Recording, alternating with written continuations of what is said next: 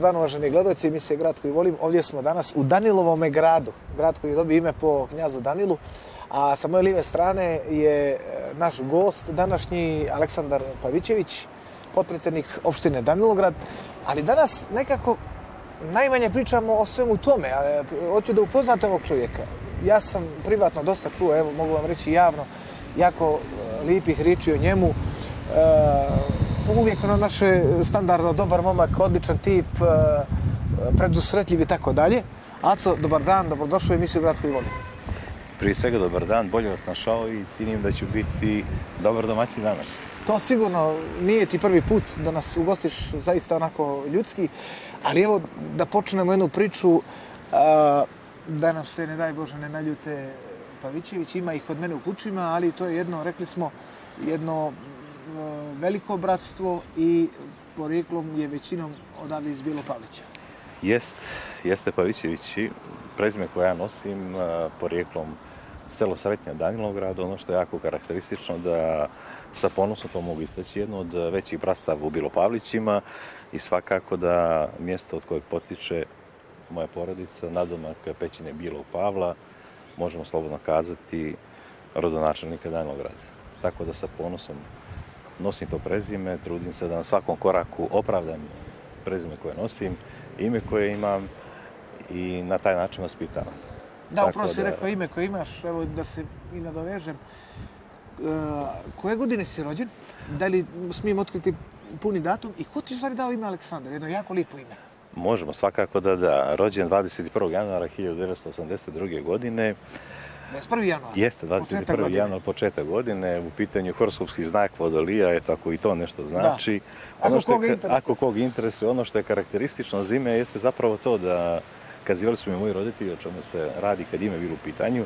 Svakako da majka u tom trenutku je bila nastrojena ka imenu Balša i bio jedan spisak koji dan danas čuvam svih imena koje su nosile Bravo. to doba i onako vukli, da kažemo, ka, nekim, ka nekim istorijskim imenima, ali svakako kum je dao ime e, Aleksandar i u tom trenutku došao je do svoje kumi i kazao želim da se zove Aleksandar i to je tako ostalo kao doba stare Crne Gore.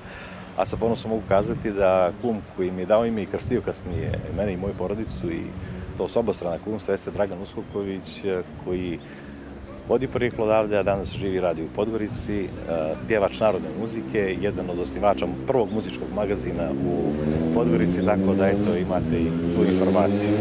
Da, čovjek koji je obožavao tajmere, tako bio je nekoliko puta učesnik u emisiji Gušteranje i tako, naš dobar drug i njegov sin je bio kod nas malo u televiziji. Filip je bio kod nas. Yes. yes. A, ali evo sad opet malo prije nego što pređemo na drugu lokaciju, kada ćemo pričati o tvom djetinstvu i odrastanju, A, ovo si mi odličan dao šlagvort jer je jedna jako interesantna za mnoge ljude recimo i čudno da kum daje ime e, kumovskom ili novorođenčetu. rođenčetu. Te 82. 82. godine tebi. Kako ti danas gledaš na to? Danas ipak roditelji što kažu, nije se dite ni rodila, već ima spremno ime, kum se mnogo i ne pita, be samo na krštenju. Ajmo da kažemo da je to u tom trenutku doba bilo pravog sistema vrijednosti, stari običaj, stari običaj i svakako moj otac i draga su bili nerazvojni tokom odrastanja, od doba djetinstva i tako dalje, do kasnije stvaranja porodica na obje strane i nekako su uvijek držali da to kumstvo traje na način na koji to treba da bude. U onom sistemu vrijednosti koje je stara Crna Gora držala za, za pažnju.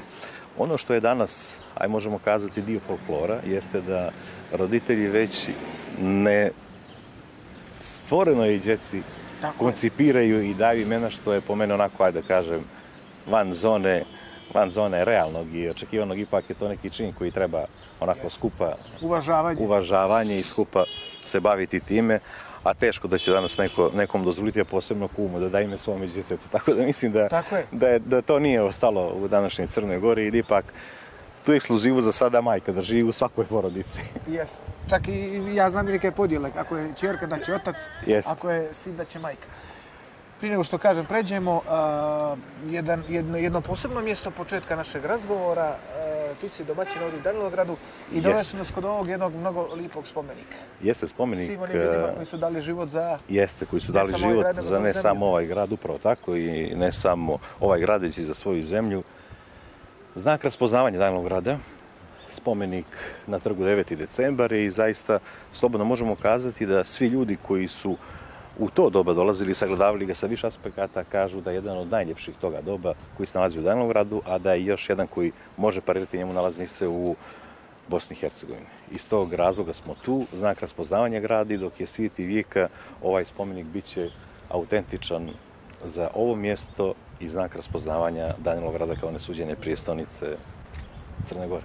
Tako je, da, baš kao nesuđene prijestonice, nego uh, mi uvek kažemo, mi volimo uvijek nešto zvanično. E, bez obzira što je Cetinje zvanična prijestolnica i e, Danilograd apsolutno može da parira Cetinju u tom pogledu i po ljepoti i po nekoj mirnoći života.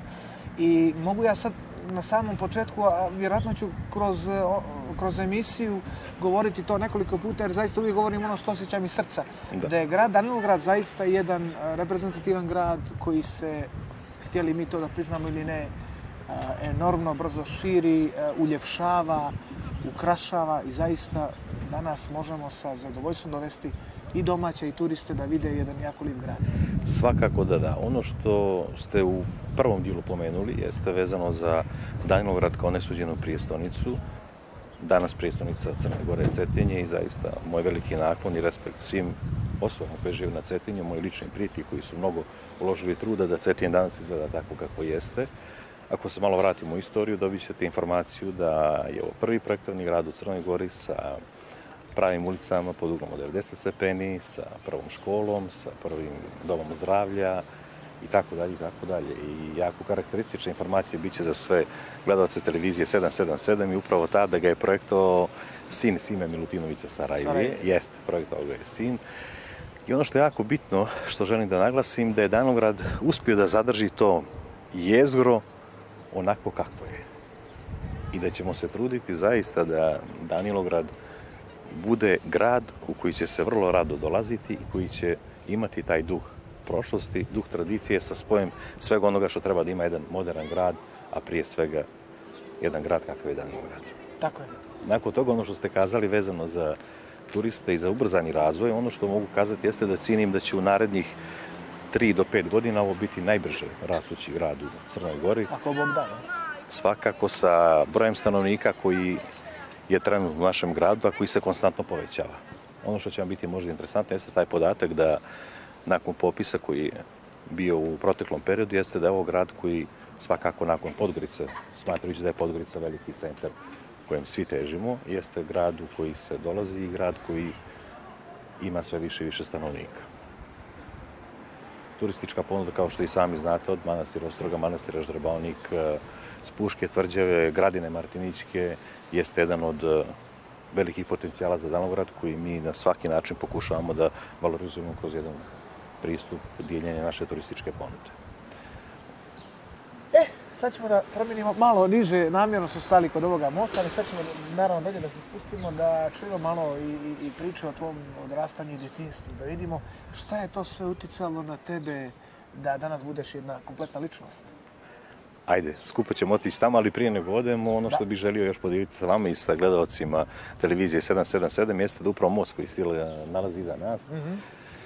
ima ime Radvana Pavićevića što bi kazali da je on vrađan i prije toga je bio naziv Vojvode Mirka. Most je rekonstruisan nove godine i kao što kamera može zabilježiti, sigurno da će biti jedan od raspoznavanja yes. našeg grada jer je zaista urađen jer je zaista urađen po svim mogućim standardima sa tom ljepotom koja pripada ovoj arhitekturi. Izuzetno ponosni na njega, a sad se selimo polako ispod mosta na jedno mjesto gdje smo svi odrastali ovog, ove dobi, gdje nije bilo laptopova, nije bilo kompjutera, nije bilo mobilnih telefona, već e, taj šmek smo morali nositi ili iz kuće ili ga sami spoznati. Nakon toga postajali ili šmek ili frajeri i tako dalje i tako dalje.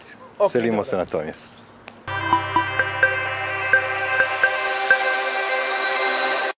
Uh, pozadi tebe se vidi upravo taj, kako si rekao, Mirko most i jedan, jedan prekrasan osijaj rike Zete u ove svodove i, i daje im tu neku boju zeleno-plavu. Vrlo interesantno. E, potvrđujemo još jednom na ovoj lokaciji da je Danilograd grad budućnosti. Ja se iskreno nadam, iako nisam Danilograđanin, već podgoričanin, ali zaista neke gradove u Crnoj Gori e, ne mogu reći sve, jer to bi bilo malo pretjerano, ali neke gradove zaista doživljavam kao svoje, kao da sam, e, kao da je jedan dio mene tu. Ovdje si nas E, doveo i dočekao iz prostog razloga jer si rođen na nekih 300 metara pravo tamo, ka, ajde kažemo, ka pravcu manastira Žandebalnik, tu je tvoja kuća i ovdje je možda neko mjesto koje, gdje si ti provodio svoje djetinstvo. Kako je bilo sad to djetinstvo? Kakva su sjećanja na sve ovo što je nekad izgledalo? Ono što mogu kazati jeste upravo to da odavde 300 metara sa desne obale Rike Zete nalazi se moja kuća. Ovo mjesto je bilo mjesto našeg odrastanja. U trenucima kad smo odrastali, možemo slobodno kazati da smo svaki dio svog slobodnog vremena provodili napolje. Da. U to doba jako malo opterećeni građevinama, jako malo opterećeni financijama od strane naših roditelja i nekako dio djetinstva koji će ostati upečatljiv za sve nas. Jedna sinergija koja je proizvela to društvo, u čuvenom mjestu Pažići, kako ga mi zovemo kad se pređe obala rijeke Zet, odnosno most Radana Pavićevića, jeste zaseok Pažići. Odrasli su tu mnoge poznate ličnosti koje potiču iz Danilog grada. Ono što mogu kazati jeste da je dan nama počinjao tokom ljetnjeg ili zimskog raspusta, tako što čekali smo da naši roditelji odu do posla, a onda smo se pravili da, kako, to, kako smo kazivali u to doba, pravili smo se da spavamo, kako bismo već u sedam i po da nam dan bi propao, uzimali biciklom, onda krećemo u obilaza grada, ako je to ljeto, to je nezaobilazno skriveno kupanje po zeti, priče sa kojima smo odrastali jeste da rijeka Zeta je jako hladna, da možemo da dobijemo rumu i to je kao po defaultu za to doba imate zabranu kupanju rijeci Zeti. Da. Ali dijete ne bi bilo dijete ukoliko ne bi našlo načina da, da dođe da jest, neka da prekrši neka od pravila i da u tom trenutku možemo da, da provodimo vrijeme do 3 sata dok su naši roditelji na poslovima, a mi onako organizovano iz kompletnog sela krenuli ka rijeci, provodili vrijeme, igrajući futbal, praviti, pravili terene. Uh, ono što je jako bitno kazati, to, u to doba pravili smo terene za sport koji je bio aktualan u tom trenutku. Ako se igra svjetsko prvenstvo futbala, futbal je primarna djelatnost našeg interesovanja. I onda se prave sportski tereni, pa se igra futbal, pa imamo vijećanje, pa se onda organizuju turniri. Nakon toga, kad je svjetsko prvenstvo u odbojci, onda smo svi imali ta zamišljena imena naših najboljih odbojkaša, pa su se pravile odboj, pravili se mreže odbojkaški tereni. A onda kad je krenulo svjetsko prvenstvo i evropsko prvenstvo košarke, onda smo svi bili najbolji košarkaši. Tu ću ispričati jedan detalj koji će možda vama biti interesantan, da kako smo koncipirali stvaranje tog koša koji je bio, ajde kažemo, za nas najveće stjecište i okupljanje mladih u tom dijelu, bukvalno 100 metara odavde kad se pređe, kad se pređe rijeka. Bila je jedna velika oluja i sjećam se toga kao da je juče bilo, oluja je oborila neke od drvenih stubova koji su nosili kablove. I mi kao klinci, kako smo vozili bicikla, stalno aktivno su bilo u to doba, obilazili smo za seok sela i tako dalje i tako dalje. I ugledamo jedan stub koji je pao i tu je krenula organizovana akcija. Kako ćemo da pređemo preko šina koje se nalaze na tom području, lokalitet stuba i način na koji ćemo mi da dovučemo stup tokom mraka da bismo mogli preko noći raditi, napraviti tablu daska petica i obruč koji je morao sam da se napravi u tom trenutku, jer nije postala moguće da se kupi. Nego smo morali da imamo varioca koji bi, koji bi sve to obezbidio. I u to doba sad aktuelni poznati košarkaš Aleksandar Radlović, s kojim smo odrastao Ač Radlović, eh, Srđa Mandić, jedan od momaka koji sa nama igrao košarke, od naših najboljih drugara toga doba i sad uspješan trener u košarci. I naravno Mirko Tamidžija koji u tom trenutku je bio jak zagovornik futbala, ali nije bilo na odmet ni provesti vrijeme na Da. terenu košarke. Pominjem e, sva imena toga doba koja su danas ostvarili uspjeh na svim poljima sporta. I nakon tog donošenja otac e, Aca Radovića košarkaša, Saša Radović, jedan od naših komšija, bio jedan od boljih košarkaša doba naših roditelja i on je za nas pleo mrežu od kanapa. I kad se isplete ta mreža i to se okače, to je bilo najveća radost, najveće veselje toga doba. Tako imati mrežicu, to je... Imali, imati mrežicu, to je je bilo zaista bilo, zaista bilo, nešto, dakle. Jeste, nešto bilo ekskluzivno za nas. I da me najviše smetala noć koja ne se remetila u našem druženju, kako bismo morali da prespavamo da bi nastavili to tokom sutrašnjeg dana. Tako da uspomene koje učem iz toga doba su više nego, više nego dobre i zaista jedno bezbrižno djetinstvo, jedno bezbrižno odrastanje. A sa druge obale Zete, evo ovdje upravo iza, odnosno ispred umjetničke kolonije, jer se mi nalazimo iza umjetničke kolonije, koja je jedan od najvećih reprezenata danilogradske umjetnosti, pogotovo kad je u pitanju skulptura i vajerski simpozijum, jeste da u tom trenutku bila je jedna livada. Tu ste igrali futbal? Jeste, tu smo igrali futbal. Ono što mogu kazati jeste da turniri koji su se organizovali u to doba bili su jako interesantni. Ulica Novice Škerovića koja je gravitirala ka stadionu, slovilo se da ima najbolje futbalere toga doba. Aha. Tu su bili Ivan Bošković, Peđa Bošković. Pominjem Ivan Boškovića kao futbalera, jako Tako uspješno je. mog kuma kog sam vjenčao na Tajlandu.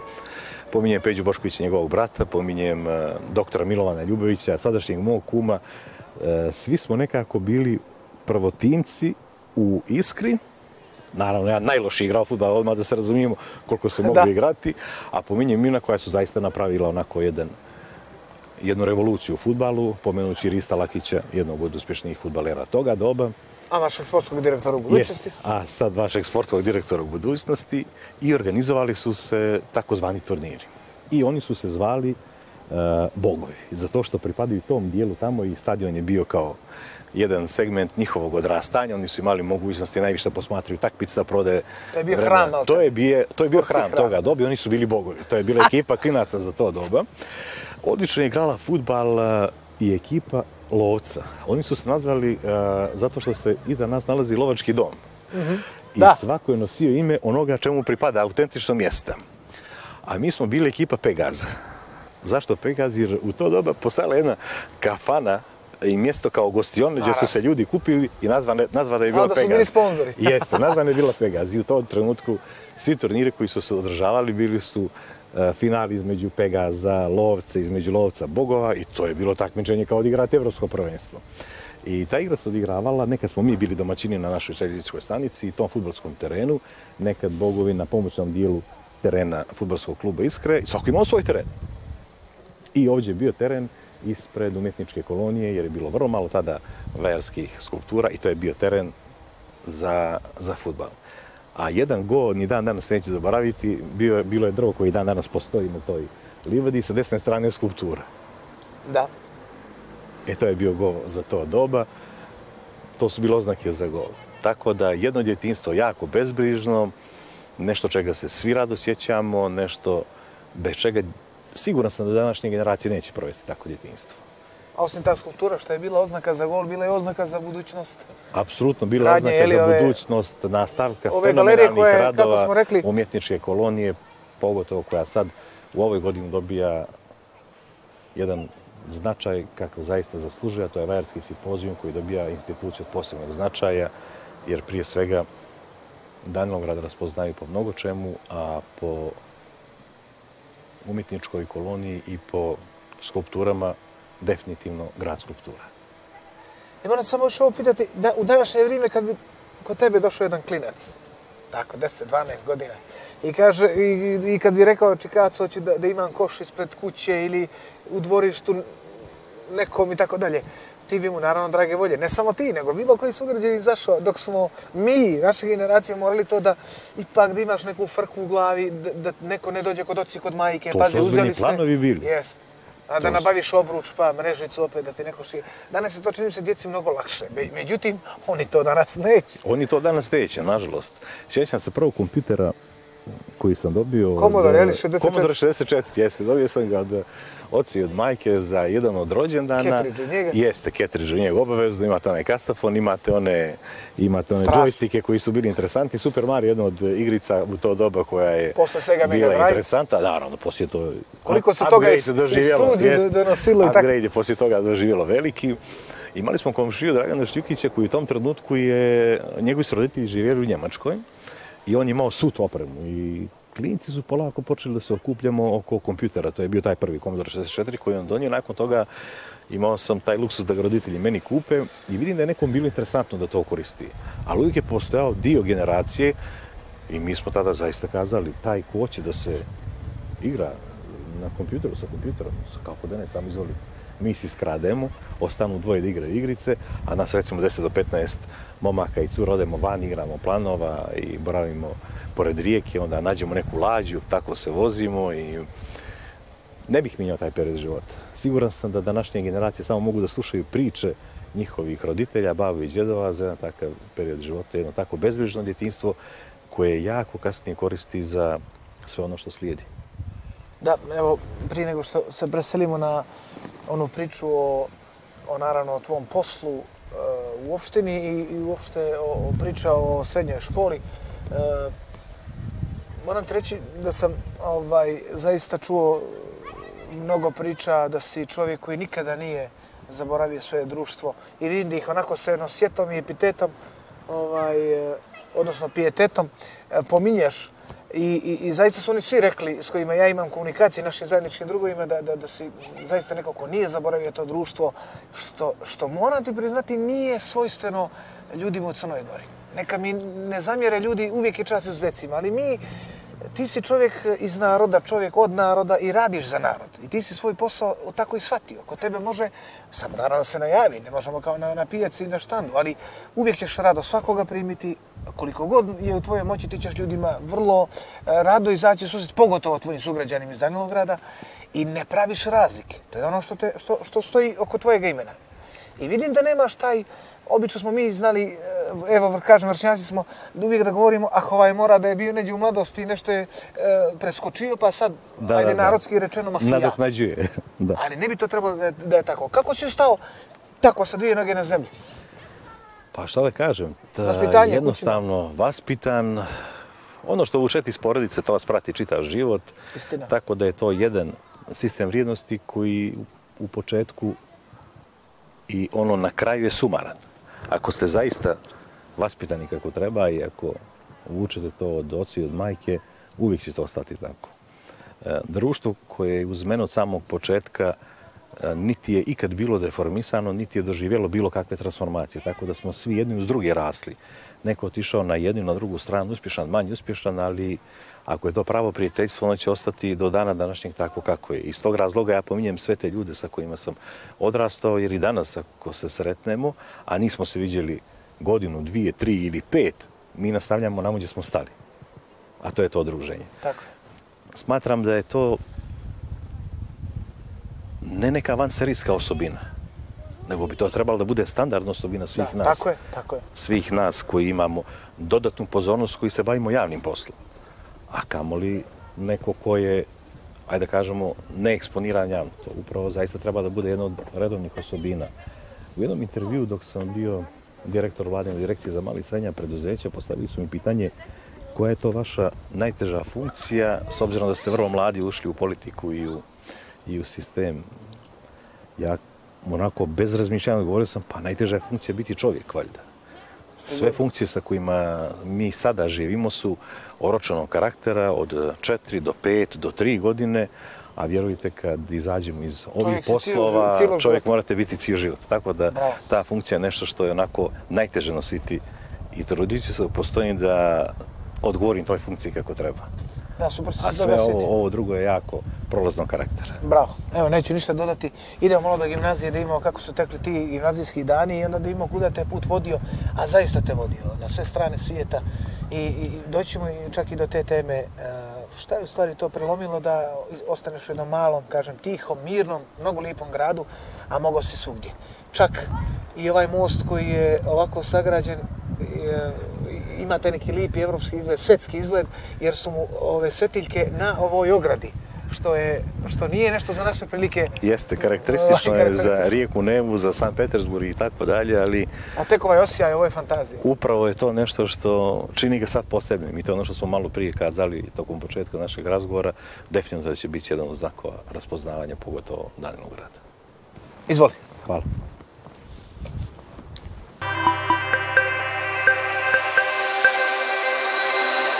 Aco, evo, treća lokacija, e, gimnazije Petar I. Petrović i Njegoš u Danilogradu. Jedna jako ozbiljna, jako kvalitetna e, školska ustanova koja je i tekako priznata i poznata u Crnoj Gori.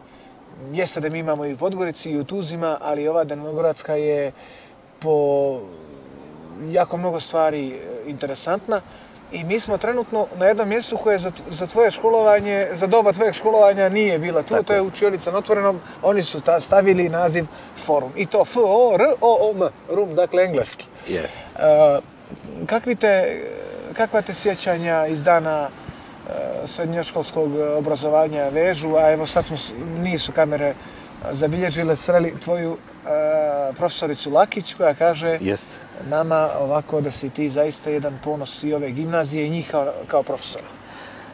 Jeste, sreli smo profesoricu književnosti, e, gospođu Lidiju Lakić, jednu od mojih omiljenih profesorica toga doba, sa kojom sam e, napravit ću digresiju prvo na ono što se dešavalo u školi, neki detalj, onda ćemo nastaviti priču u tom pravcu. Imao više nego, više nego dobar odnos do te mjere da kad e, ne učim najbolje kako treba, tu su onako najradikalnije ocjene kažnjavanja do trenutka dok se dođe do te četvorke ili petice na obostrano zadovoljstvo.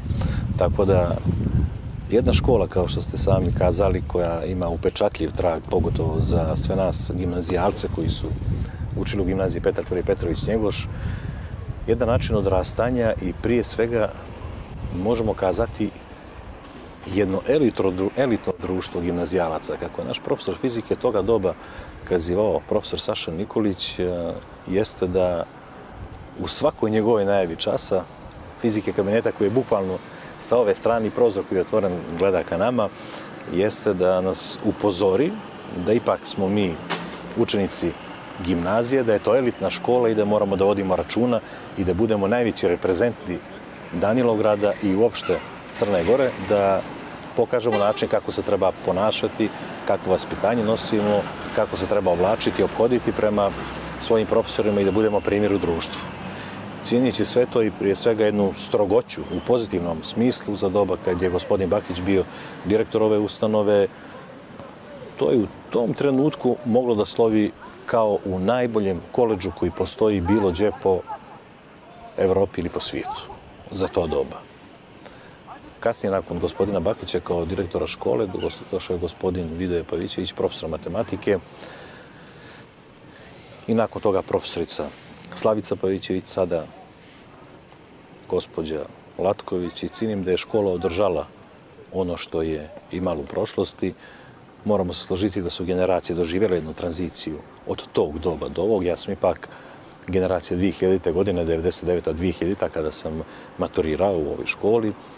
Eh, sa ponosom kazujem da sam učenik od prvog jedan do četvrtog jedan ove škole, razredni starišina profesor Živko Kekić, u to doba profesor eh, psihologije, sociologije, ustava i prava građana i ono primarno profesor filozofije.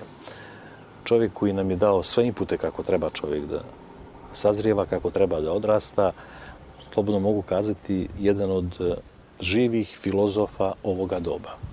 Zbog njega sam naučio šta je to filozofija kojom se i dan danas bavim i iščitavam štiva filozofskog karaktera koje nam mnogo pomažu da u današnjem životu sagledamo neke stvari na osnovu toga kako bismo zauzeli stav za određene teme i pitanja kako u društvenom pravcu, tako i u poslovnom smjeru. Ono, mogu slobodno nagovijestiti da u našem odeljenju bilo je 28 učenika, jedna generacija koja je vjerovali ne, bila jedna od uspješnijih u gimnaziji Petar I. Petrović Njegoš. Danas su to sve visokoškolci na ozbiljnim pozicijama, poslovima, uspješni sportisti, futbaleri, prodekani za nastavu, nastavnici, profesori. I jednostavno generacija koja je ponikla i opravdala očekivanje prije svega svoje kuće, svojih roditelja, a onda i profesora koji su uložili veliki trud da bismo mi mogli da da bismo mi mogli da budemo danas takvi kakvi jesmo i spremni da u budućnosti prenesemo ta znanja i na našu porodicu. Po meni to smisao jedne škole, jedne zajednice koja vaspitava svoje klinice u gradu, a definitivno gimnazija je škola koju preporučujem svima koji danas gledaju ovu emisiju i prije svega preporučit ću je svoje porodici kada se steknu uslovi za to, jer definitivno pruža znanje koje, sa kojim ćete moći raspolagati na bilo kom fakultetu unutar Crne Gore i van Crne Gore pružit će vam sva znanje kako biste bili spremni za visoko obrazovanje. Možda bude interesantno za vas jeste da veliki dio ljudi iz Podgorice pohađa školu u Danilogradu Da. i to ne iz nemogućnosti da to učini u Podgorici, nego sa velikom željom da to bude ovdje. Tako, ja ih znam dosta. Sa velikom željom da to bude ovdje.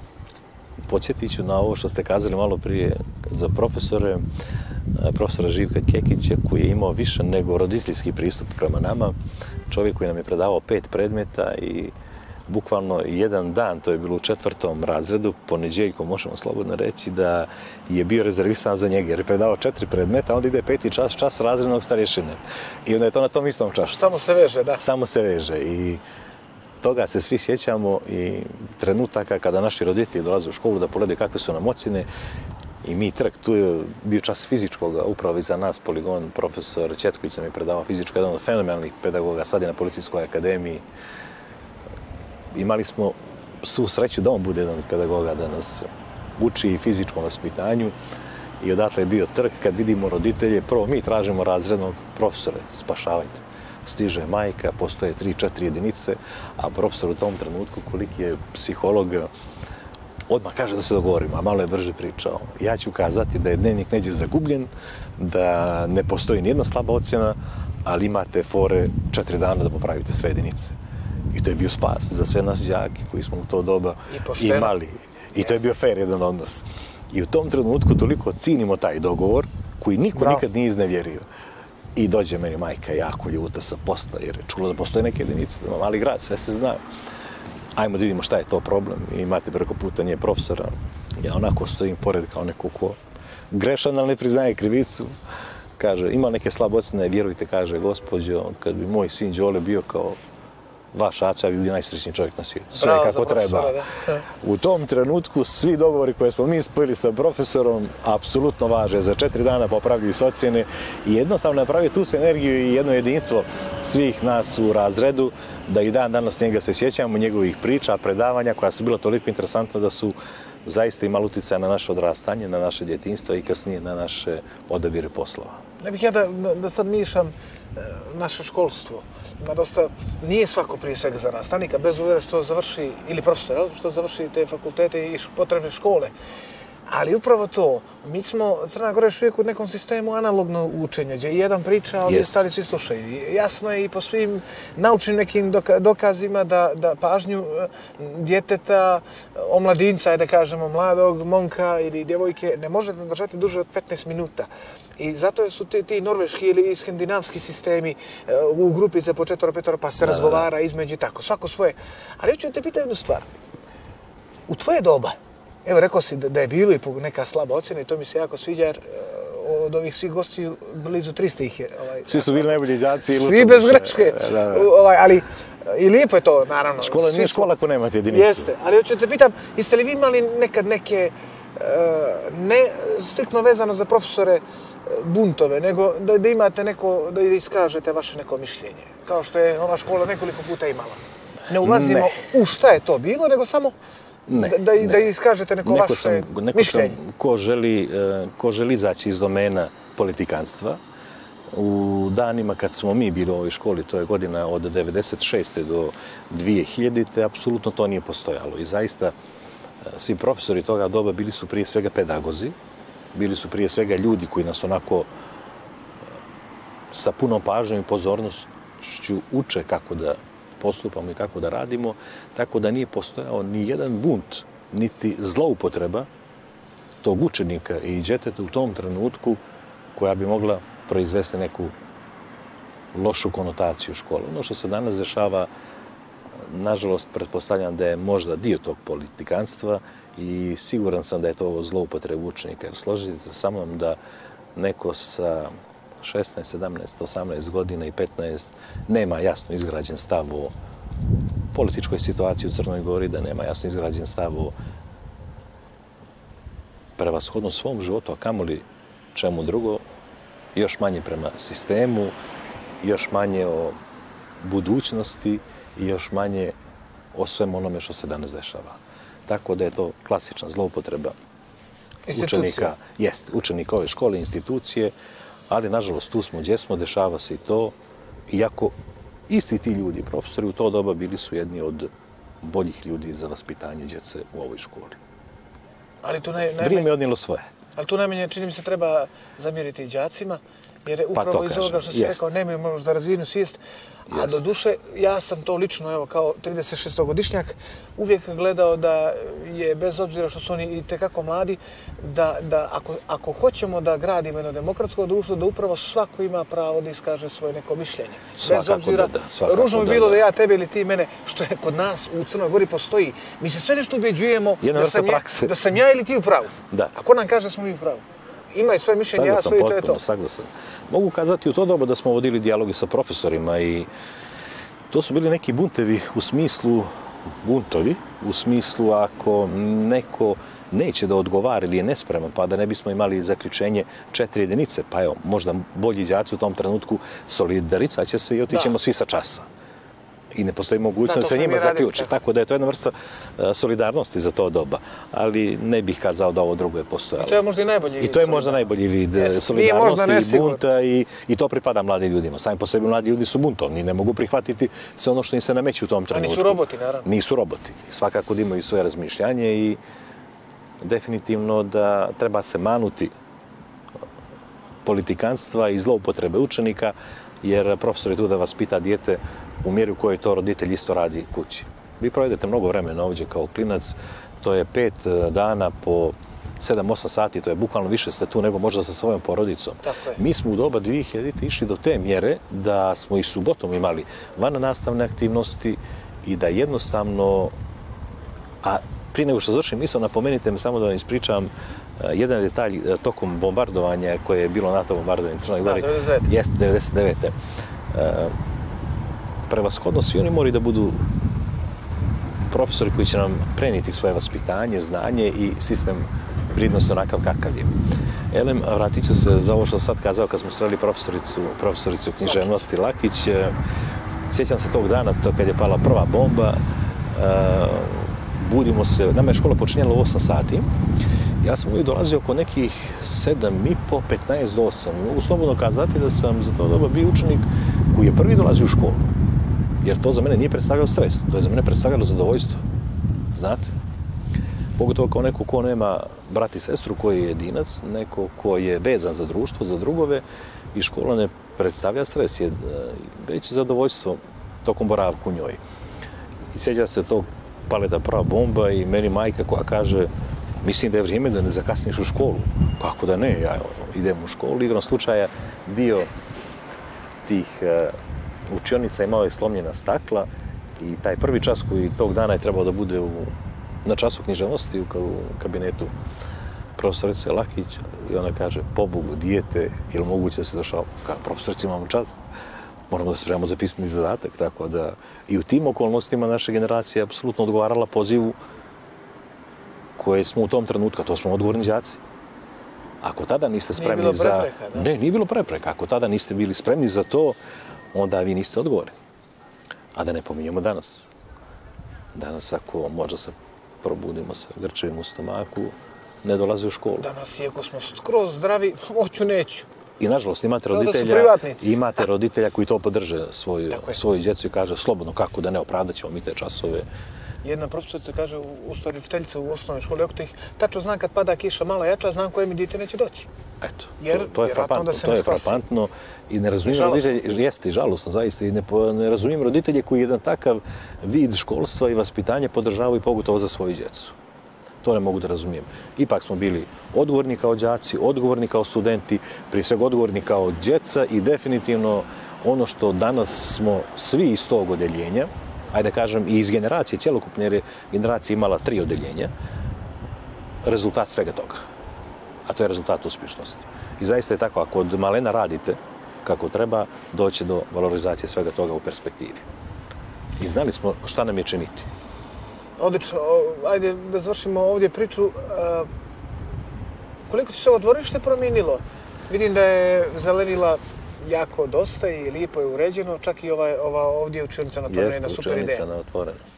Ono što mogu kazati jeste da je škola danas a, potpuno renovirana u odnosu na doba kad sam ja bio sa kompletno odrađenom energetski efikasnom jednom infrastrukturom To je urađeno i vrtić Ren Radović koji je bukvalno odmah pored škole iza našeg kamermana koji je danas drug sa nama. Sa naše desne strane, odmah pored škole, gimnazija osnovna škola Vukojović. I on mogu slobodno kazati da školstvo u Danilovgradu je na najvećem mogućem nivou. Ovo sad govorim sa aspekta da čuju roditelji u našem gradu i okolnim naseljima da škole imaju sve uslove za neometano i kvalitetno bavljenje nastavom. A dvorište od prilike nekog sličnog karaktera, s tim što sad već u kontaktu sa direktoricom i naravno sa predsjednicom opštine gospođom Kvačević i ministrom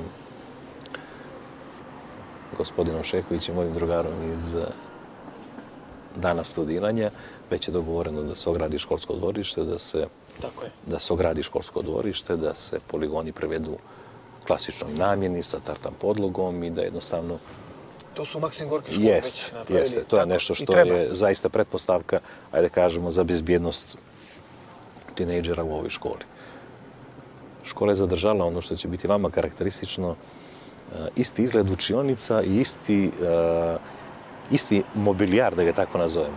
Te drvene klupe i stolice, jer je praksa, složit ćete se sa mnom, da u svim školama je to neđe uništavano od generacije do generacije. Tako je. Postojali su vandali tog doba koji su, nažalost, imali želju da nešto unište. Tako je. Od kad je otvorena gimnazija do dana danas, to je tako. Ova gimnazija ovdje. Iste su klupe, iste su stolice i poznata je po tome da je da je ta mjera discipline ovdje na, na zavidnom nivou. To je ono što karakteriše ovu školu, jer kad dođete u jednu takvu sredinu i oni koji imaju tu želju nemaju. Tako je. Jer vas taj talas potpuno, jest, jest. taj talas vas potpuno, potpuno povuče i prihvatate to kao neku vrstu standarda za to doba. E to je u stvari ona stara, potvrđuje se, s kim si takav si. Jest. Ako dođeš loš u jedno jako dobro društvo, moraš i ti postati dobar. Ili obrnut. Ili obrnut, upravo tako. Dobro ga oštete. Upravo tako. E, dobraco, idemo polako da privodimo naš razgovor na moju žalost e, zbog vremena, jeli? A, vidjet će da, da ostavimo za sam kraj imalo tajne e, lokacije. A, ovdje smo zaista ispričali jednu interesantnu priču, eto, I, I jeste istina da evo ja zaključim da je dosta djece iz Podgorice upravo sa željom, ne zbog nemogućnosti da pohađaju gimnaziju Slobodan Škerović u Podgorici, nego upravo i želje zato što ovdje rade jako kvalitetni jeste, pedagozi, jako, prije svega pa onda profesori. Jedna manja sredina koja zaista pruža mogućnost uh, i kontrole i samokontrole i jednog bezbrižnog odrastanja u tom periodu od svoje 15. 16. do 18. godine. Hvala, idemo dalje.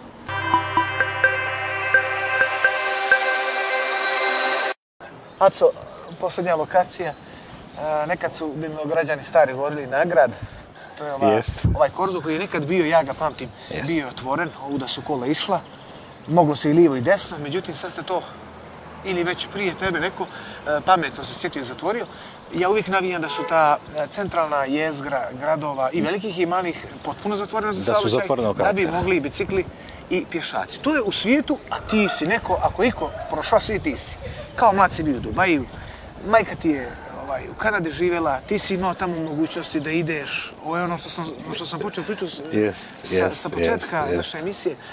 Sve si vidio, prošao i na kraju odlučiš da, da dođeš u Beograd, ali i, i ja ti sad lično kažem i u ime naših gledalaca, hvala ti na tome. Zašto? E, ne da ti lijepo riječam, nego iz prostog razloga jer to što si ti naučio i vidio, ti to donosiš u, u svoj najmili i rodni Jest, grad i kraj i pasiraš. Dobro, dobru praksu prenijeti, dobru praksu prenijeti ovdje. Kao što smo kazali, ovo šetalište, ovaj Danogradski korzo, jako poznat za to doba, bio je jedan od najpunijih. Jeste. I to je bilo na drugo vrijeme. Svaki korzo je imao, svaki grad imao svoj korzo. I tu se su ljudi srijećali i dijelili svoje socijalne momente za to doba neko se nekom udvarao, neko nekom prilazio, ne prilazio. Čak i moja generacija pamti to, jer mi nismo generacija koja je zahvatila doba mobilnih telefona, već morali smo da, ako ćemo da budemo ozbiljni šmekeri, da izađemo na korzo, da vidimo šta je to što se dešava nagrad, kako volimo svi da kažemo.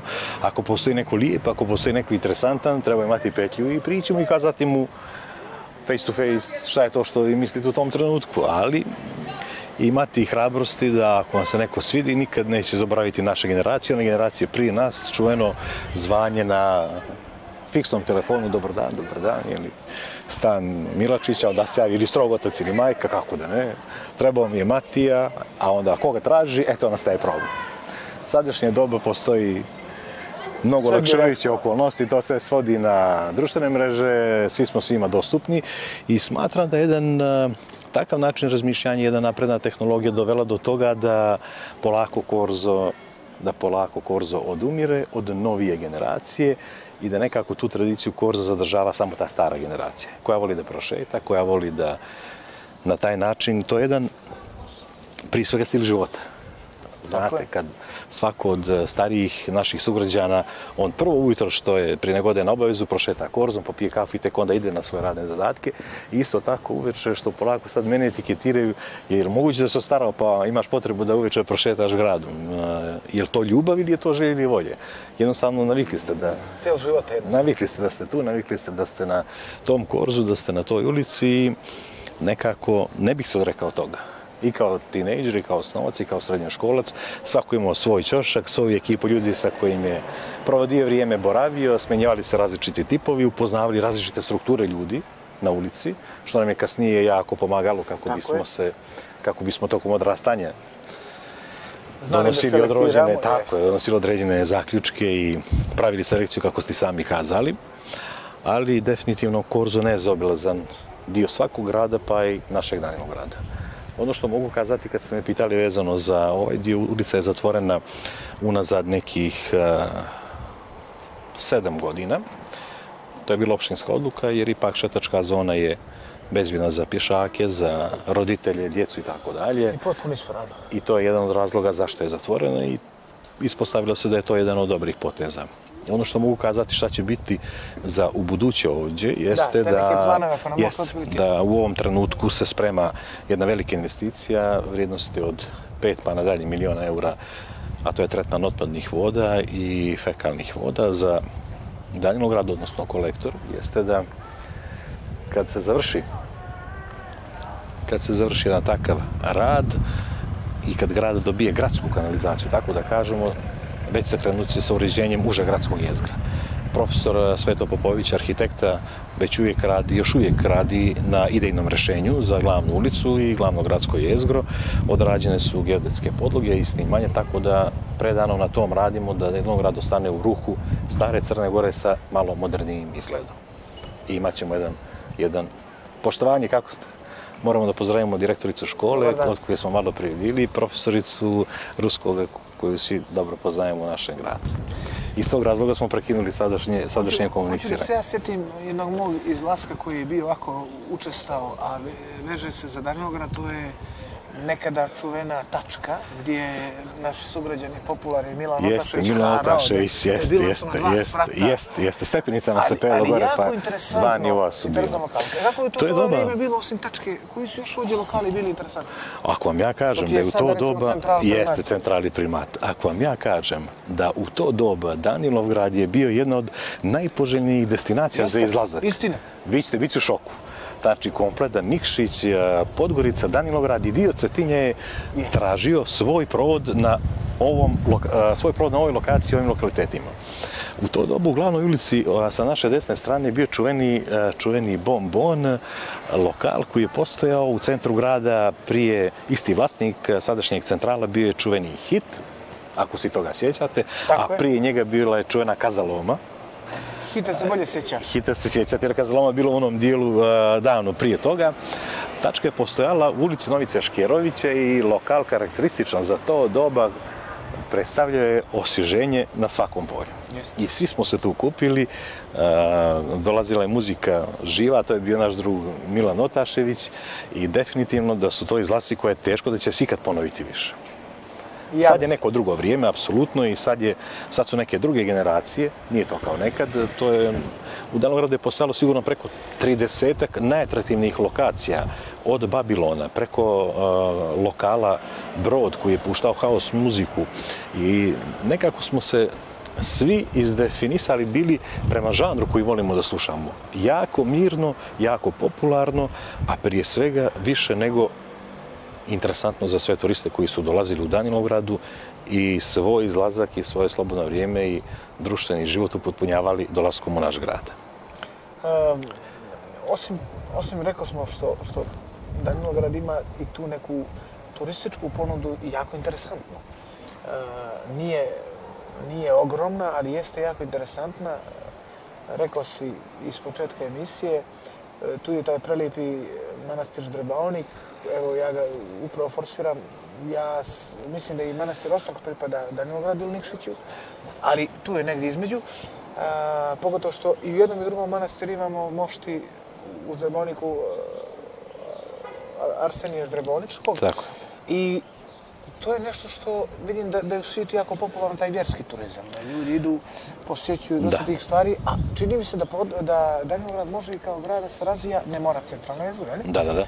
Da se neke mala i srednja preduzeća, ti neki biznisi ovdje, apsolutno, jer je, jer je plasman Nikšić, Jest. Podgorica, Ono što ću ja sad jasno odgovoriti, odgovoriti na vaše pitanje jeste zapravo ono što ste pomenuli. Vjerski turizam i tekako stavljen pod pažnjom kad je dan u gradu pitanju. Manastir Ostrog i tekako jedno od velikih svetilišta i manastir Ždrabonik. Apropo onoga što ste konstatovali, manastir Ostrog pripada teritoriji opštine Danilograd, nalazi se na teritoriji opštine Danilograd, tako da, da to stavimo jasno na znanje.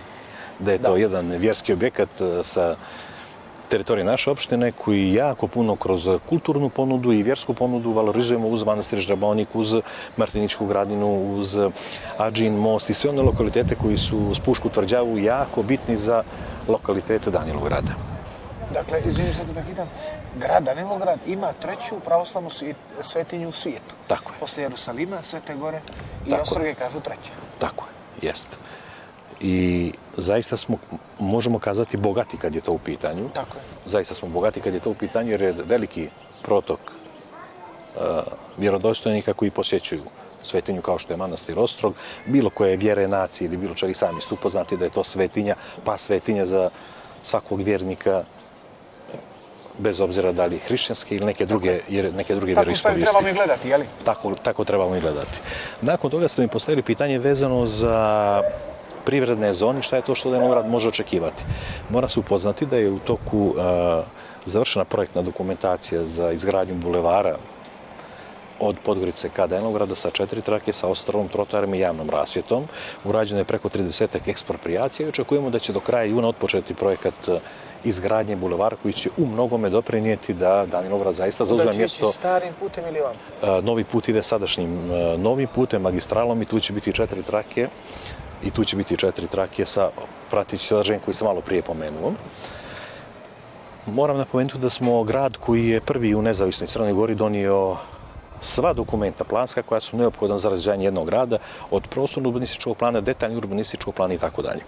U zoni uz magistralni put smo definisali industrijsku zonu, a i sami ste svjedoci kad ste dolazili da snimamo ovakvu vrstu prijatnog razgovora, više nego onako da kažemo službenog ili oficijalnog, vidjeli ste da je sijaset eh, malih i srednjih preduzeća uz samu magistralu. Tako je. Definitivno postaje interesantno svakom privatniku. Mogu slobodno pomenuti da vrlo brzo će biti otvoren, otvorena otvoren jedna od najvećih investicija u Danilovgradu za ovo doba 2,2 miliona investicija mana. Nakon toga Osman Agić je prebacio i u toku je prebacanje svih svojih investicija i prodajnih salona iz Podgorice. U toj zoni postoji dva do tri kamenoloma, odnosno obrađivača kamena koji rade na tim pozicijama, fabrika za proizvodnju kesa Garmin, imate jedan logistički centar i carinski centar, imate Montana Max, a onda kod gospodina Kovinić imate i Veko, Fiat i sve ono što može da bude i u toj automobilskoj industriji. reklamu besplatno. I neka smo. I to, su naši, to, su naši, to su naši investitori.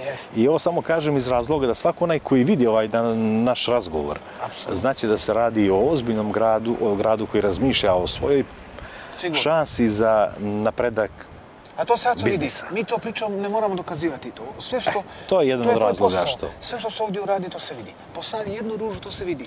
Jeste. Ako ne radimo ništa, i to se vidi. I to se vidi. Dakle, e, završit ćemo već kida rukama uh, Stefan.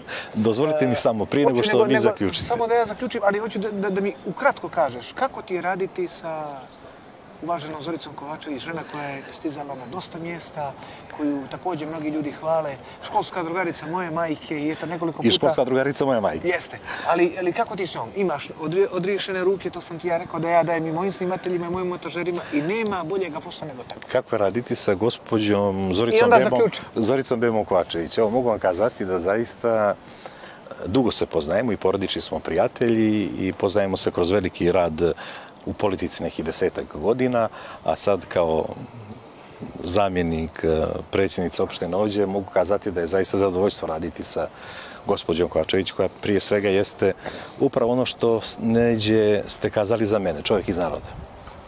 Grad je voli